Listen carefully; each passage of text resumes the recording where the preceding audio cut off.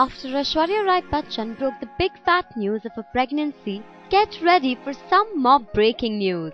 Speculations are rife that the Bollywood hottie turned film producer Lara Dutta, who recently wed tennis player Mahesh Bhupathi early this year, too is in the family way.